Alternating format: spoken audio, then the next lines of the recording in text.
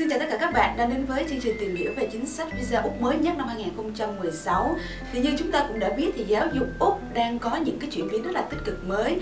Theo đó, cái hệ thống giáo dục cũng đang có những biến đổi nhất định và chính sách visa cũng biến đổi theo. Úc cũng đang có những thay đổi mới về luật xin visa dành cho sinh viên quốc tế và đang rất là được nhiều các bạn trẻ quan tâm. Hôm nay chúng ta sẽ cùng tìm hiểu chi tiết về những thông tin mới nhất này các bạn nhé. Uy tín của giáo dục Úc ngày càng tăng cao trên tầm quốc tế theo bản khảo sát Economist Intelligence Unit 2014, nhiều thành phố của Úc nằm trong top 10 các thành phố đáng sống nhất thế giới, cụ thể là Adelaide đứng thứ 5, Sydney đứng thứ 7 và Perth đứng thứ 9. Theo đó, Úc cũng đã trở thành lựa chọn của rất nhiều khách du lịch và du học sinh. Số lượng sinh viên quốc tế tại các trường của Úc cũng tiếp tục phát triển.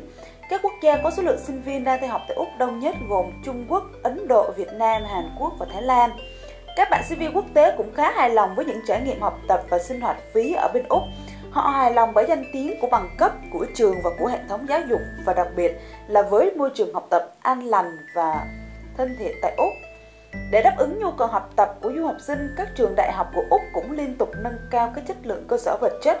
Ví dụ như sinh viên y khoa tại Đại học Adelaide đã được học trong các tòa nhà mới xây dành cho khoa dược và điều dưỡng nằm cạnh Bệnh viện Hoàng gia Adelaide trong khu sức khỏe và y sinh Nam Úc. Cuối cùng, chính phủ Úc cũng đang có chính sách visa Úc cập nhật mới nhất. Theo như chính sách visa Úc cập nhật mới nhất này, thì hệ thống visa du học thay đổi trở nên đơn giản hơn và dễ dàng cho việc chuẩn bị hồ sơ và xin xét duyệt visa du học hơn. Bên cạnh đó, những yêu cầu mới về trình độ tiếng Anh và tài chính cũng được áp dụng. Chính sách visa Úc cập nhật mới nhất sẽ được chính thức áp dụng vào ngày 1 tháng 7 năm 2016. Đây là kết quả từ chính luật di trú năm 2016. Bộ Di trú và Bộ Bảo vệ Biên giới quyết định đơn giản hóa 8 loại visa dành cho sinh viên quốc tế khác nhau trước đây. Còn hai loại visa du học mới là Sublat 500 dành cho sinh viên quốc tế và Sublat 590 dành cho phụ huynh hay người giám hộ.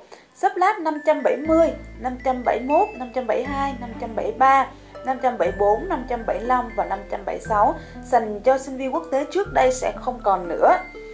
Một năm trước vào ngày 16 tháng 6 năm 2015, chính phủ Úc công bố bản phúc trình về hướng duyệt xét visa trong tương lai và giới thiệu chương trình đơn giản hóa visa dành cho học sinh đến Úc Simply Student Visa Framework được gọi tắt là SSVF để đẩy mạnh hơn ngành dịch vụ giáo dục của Úc.